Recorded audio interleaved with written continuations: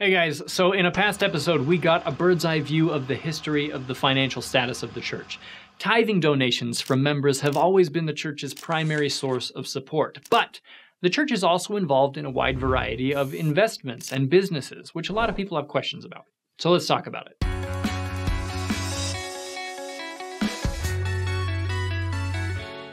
All right, so why is the church involved in for profit businesses? Historically, two purposes have characterized church participation in business to provide important services to the community that might not otherwise be available, and to provide a reasonable return on the resources of the church.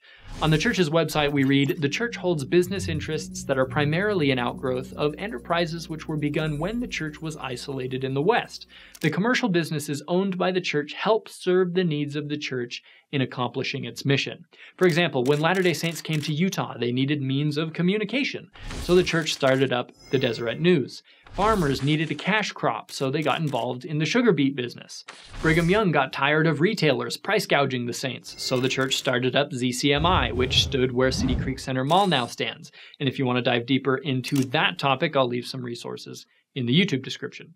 Scholar D. Michael Quinn wrote The LDS Church has rarely had financial profit as the motive for starting even the most ambitious business. In fact, from 1933 to 1961, First Presidency Counselor J. Reuben Clark continually cautioned against church enterprises making too much money, which would be profiteering at the expense of those whom Mormon enterprises seek to benefit, the average Latter day Saints. Until 1933, Mormon owned or controlled businesses were mostly a drain on the church's resources, driving it to the edge of bankruptcy.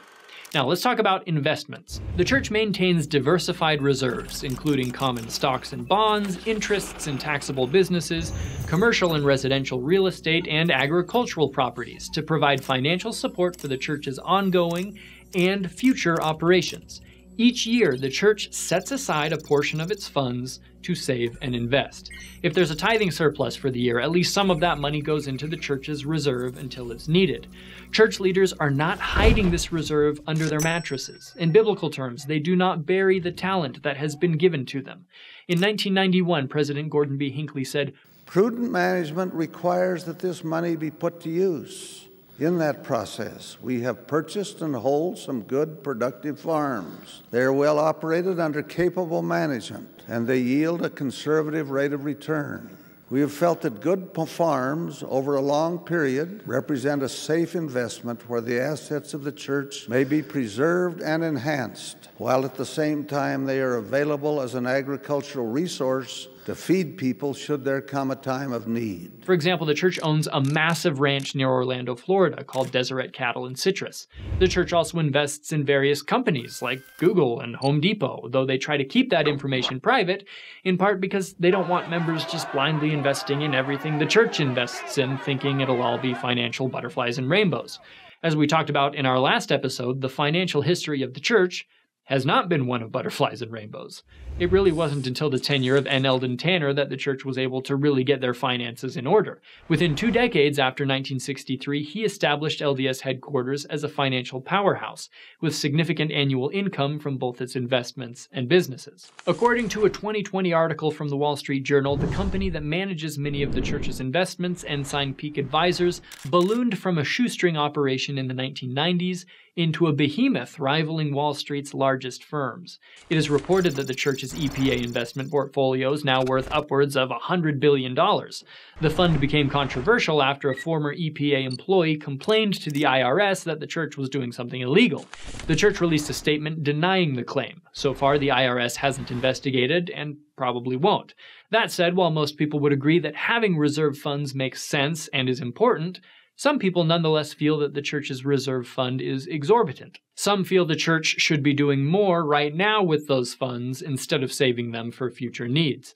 Others see the church's relatively recent financial success as quite faith promoting.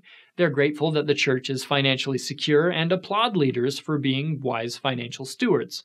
As for me, like J. Reuben Clark, I acknowledge that leaders are not infallible in their financial decision making, but as a believing member of the church, I do give them the benefit of the doubt. Frankly, I don't have the full picture of the church's financial obligations, expenditures, and future projections. So if the church chooses to save and invest my tithing until the time comes when they feel it's needed, I'm okay with that. I pay my tithing because I believe this is God's restored church and it's part of a commitment I have made with God. Of course, I want leaders to use it in inspired ways, but my decision to pay tithing is not conditioned on how perfectly or imperfectly they choose to use it. Of course, you're certainly free to come to your own conclusions. If you want to dive deeper into this topic, as always, check out the resources in the YouTube description. Watch some of our other videos while you're here. Similar to the last episode, this one has been rather broad. There's still plenty we'll probably talk more about in the future, but until then, have a great day.